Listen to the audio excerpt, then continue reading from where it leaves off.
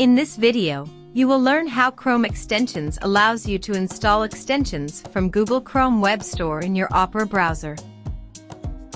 Before we get started, you should know this, you can install Chrome extensions only to Opera but not themes. To use this extension, go to your Opera browser and search for the Chrome Web Store. Click the Chrome Web Store link provided from the search results to execute. Now you're in the Chrome Web Store. Top to the right click the Add to Opera button. Opera browser will ask you to confirm the action. Click the Install Extension button in the pop-up on the top bar.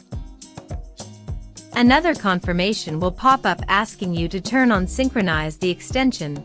This is necessary if you have more than one working computer sharing the same account. If this is not the case here close the pop-up to continue.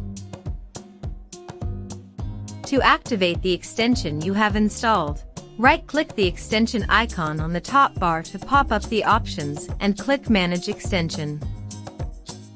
From the Open tab, down the page, click in the box before Allow access to file URLs to activate.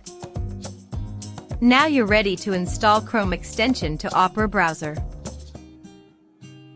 Please note, this installation is for Opera only.